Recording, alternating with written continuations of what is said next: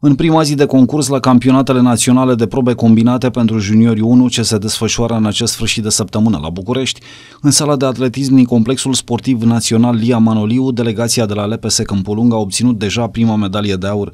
Georgiana Ciurea, eleva profesoarei Dana Leucă, a concurat în proba de pentatlon și cu 3297 de puncte s-a clasat pe primul loc într-un concurs care a avut la start 9 concurente.